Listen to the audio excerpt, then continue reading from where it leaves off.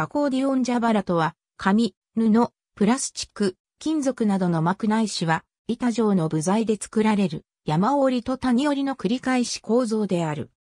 英語をそのまま金書きして、ベローズと呼ぶこともある。その文様が蛇の腹部に似ているため、蛇腹と呼ばれている。転じて、蛇の腹部そのものを指す場合もあるなどに対しても、用いられることもある。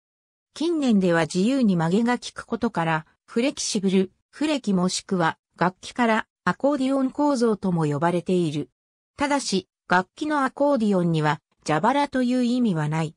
ブラ上鎮曲がるストローのように円筒形のものもあるが、古くは小田原上鎮などの提灯に見ることができる。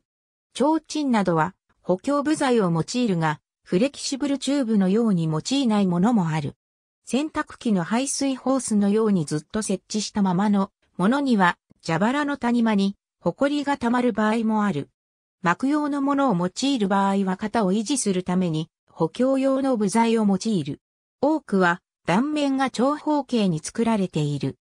六角形や八角形のものも存在するが、断面が多角形になる蛇腹は、角の部分の処理の関係上、辺の数が偶数になる。また、紙で折ることによりこの構造を作ることもできる。この場合、補強材を使用せず、キャンドルライトなど手作りの製品が作られることがある。ストロー曲がるストローやアコーディオンの場合は、下記の二つの機能の両方を利用していると言える。蛇腹構造の特徴は、蛇腹の両端を塞ぐことによって溶石が可変な閉鎖空間を作り出すことができる点にある。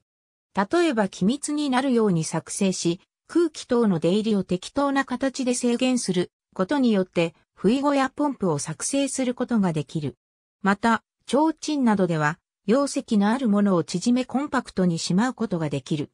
両端の位置関係を伸縮方向のみならずそれと直角な方向においてもある。程度自由に決めることができるという点も重要である。列車の貫通ホロはこの性質を利用したものと言える。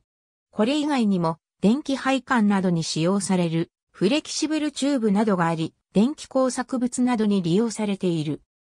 蛇の下腹部蛇の腹面を蛇腹と呼称するのは、いわゆる俗称であって、その大半を占めている、陰頭部から総排出空まで横節に分かれている、腹板、肛門部にあたる、後板、後板の後円から、後ろの尻尾の部分にあたる、体構造となった押した腹に分けられる。